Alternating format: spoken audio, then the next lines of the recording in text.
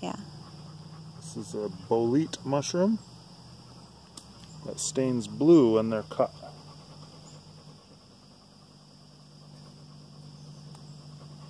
Science.